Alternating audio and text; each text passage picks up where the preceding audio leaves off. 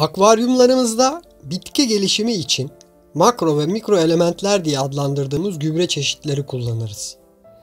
Makro elementleri nitrat, fosfat, potasyum, kalsiyum, magnezyum, kükürt, mikro elementleri ise bor, klor, bakır, demir, mangan, sodyum, çinko, molibden, nikel olarak sıralayabiliriz.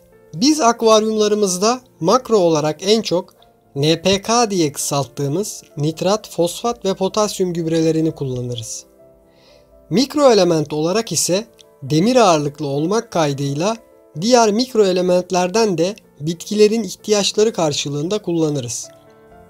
Nitrat yani azot. Nitrat özellikle yeşil yapraklı bitkiler ve diğer tüm bitkiler için mutlak bir besin kaynağıdır.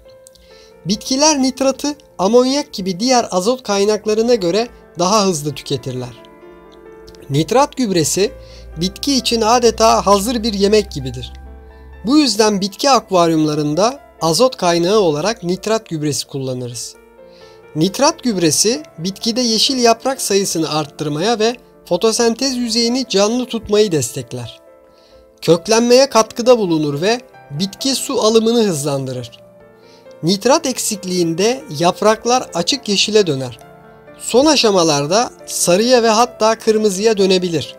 Nitrat eksikliğinde köklerde azalma olacağından bitkiye yeterli besinler gidemez ve bitki küçülmeye başlar.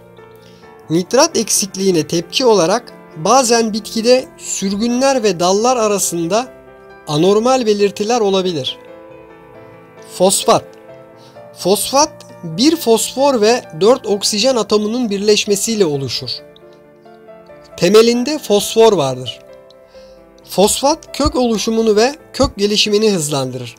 Fotosentezde büyük etkisi olan fosfat bitkinin solunumuna ve enerji depolamasına yardımcı olur. Fosfat güçlü ve uzun kök oluşumuna teşvik eder. Uzun kökler sayesinde bitki daha çok besin alır. Ancak akvaryumlarımızda fosfat gübresi kullanırken dikkat etmek gerekir. Yosun gelişimine yarayan en büyük faktörlerden biridir. Fosfatın suda çözülmesi yavaş gerçekleşir. Dolayısıyla bitkiler tarafından alınmaya çalışılırken aynı zamanda algler tarafından da tüketilmeye başlanabilir. Yaprakların başlangıçta çok koyu yeşil olma sebeplerinden biri de fosfor eksikliğidir. Fosfor eksikliğinde bitki azotu daha fazla kullanır. Fazla azot kullanımı yaprakları koyu yeşilden mor renge dönüştürür. Bunun sebebi bitkideki fosfor eksikliği sebebiyle bitkideki şekerler nişasta ve selüloza dönüşemez. Bu yüzden bitkide aşırı şeker yüklemesi kaynaklı yapraklar çok koyu yeşile ve hatta mora döner. Fosfat fazlalığı da demir alımını engeller. Potasyum Bitkili akvaryumlarda en çok kullandığımız gübre potasyum gübresidir. Potasyum bitkide su dengesini düzenler, kök gelişimini tetikler. Şekerin bitki içinde gezmesinde ve klorofil oluşumu için etkilidir. Diğer makro elementler gibi fotosentezde etkisi vardır. Potasyum bitkiyi hastalıklara karşı korur. Dolayısıyla bitkideki raf ömrünü arttırır. Yaprak, kök ve gövdelerin birbirine bağlı olduğu bitki tiplerinin gelişmesinde etkisi büyüktür. Buna akvaryumlarımızda yetiştirmeye çalıştığımız zemin bitkilerini örnekleyebiliriz. Potasyumun özelliklerinden biri de suyu bitkinin bütün organlarına taşınmasını sağlar.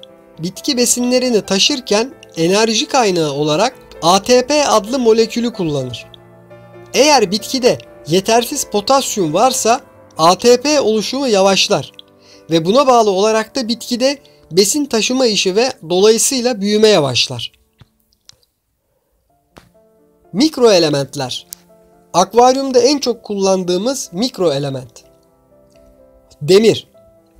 Bitkiler fotosentez için gerekli olan klorofil pigmentini üretebilmek için demire ihtiyaç duyarlar. Doğrudan klorofilin yapısında yer almayan demir, klorofilin sentezlenmesi sırasında bir hızlandırıcı görevi görür. Demir yokluğunda bitkiler yeterli klorofil üretemedikleri için yeterince fotosentez yapamazlar. Bu da gelişimin yavaşlamasına neden olur.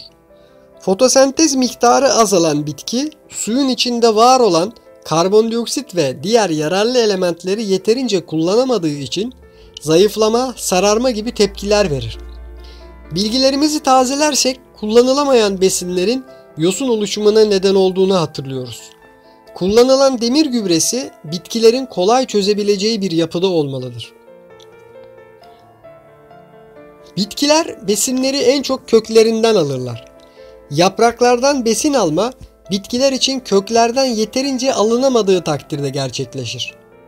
Akvaryumlarımızda besin içeriği uygun olan bitki kumları kullanmadığımız zaman bitkilerimize ağırlıklı olarak yapraklardan besin vermiş oluruz. Kumdan gelen besinler bitkilerin kökleri tarafından direkt kullanıldığı için suda yüzerek diğer alglere besin olmazlar. Bazı akvaristler çoğu zaman zemine önem vermedikleri için gübreyi su içinde kullanırlar. Yapraklardan besin alımı köklere oranla daha zor olduğu için suda fazlalık olarak besinler yani gübreler yüzer. Bu fazlalıklar algler tarafından tüketilir ve yosunlanma oluşur. Paylaşılan bilgiler teknik bilgiler olmakla beraber uzmanlar tarafından deneyimlenen ve bilimselliği kanıtlanmış bilgilerdir. Ancak akvaristin deneyimine, kullandığı malzemelere, akvaryum sağlığı ve bakımı hakkındaki tecrübelerine göre yapacağı hamleler bu akışı değiştirebilir.